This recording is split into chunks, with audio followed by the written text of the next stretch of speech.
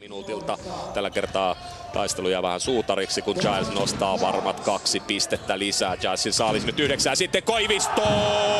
He ajaa loppuun asti ja vetää donkin siihen vielä loppuun. Näin Mikko Koivisto ja